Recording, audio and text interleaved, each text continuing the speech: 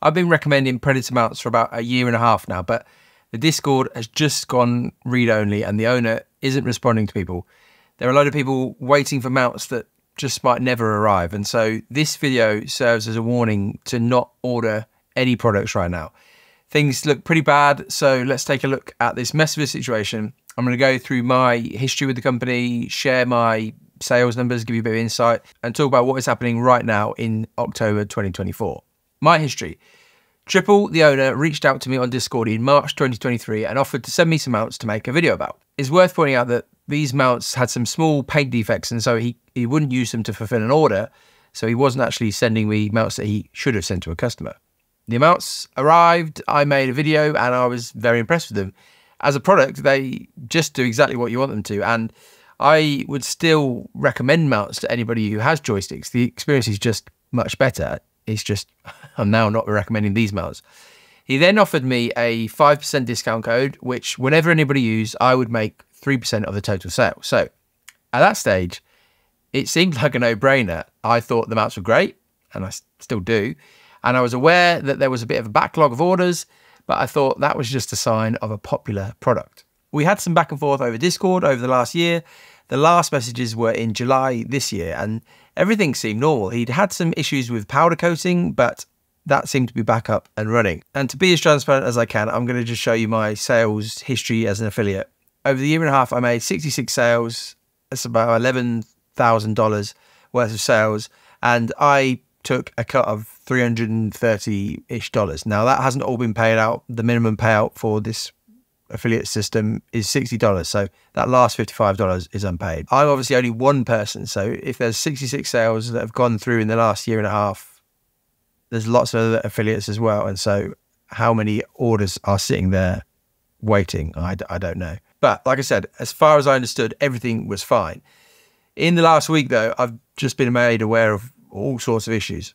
I got a couple of comments on the mount video saying that Triple has just gone missing. And then I also got a ping from the Discord server explaining that none of the mods had heard from him in nearly a month.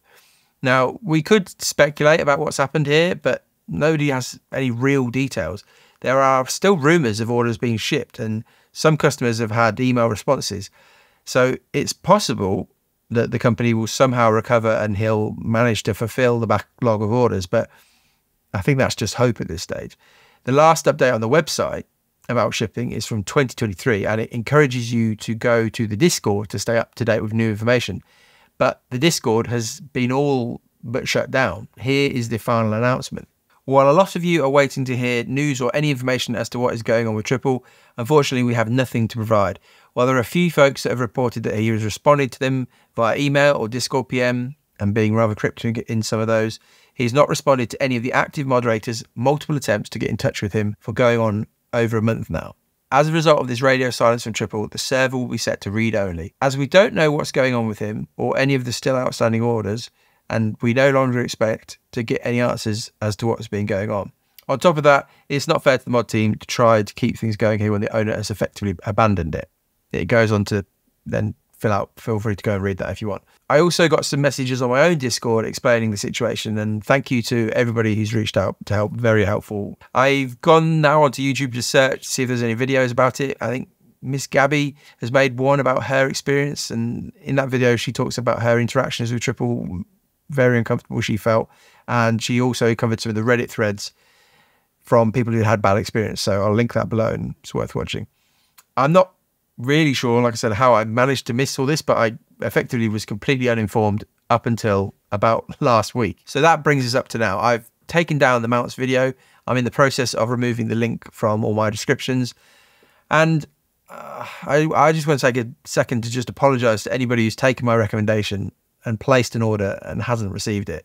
This whole situation really sucks because the product is genuinely good, but it seems as though the business has just completely fallen apart. I think the only real thing for me to say at this stage is don't place any new orders and look at options for getting your money back. Triple, if you end up watching this, I, I hope you're doing okay on a personal level, mental health level, all that stuff. If you can just start communicating with at least the Discord mods, I think there's still a small chance that you can turn this all around. But I hope you can understand why this video just had to be made.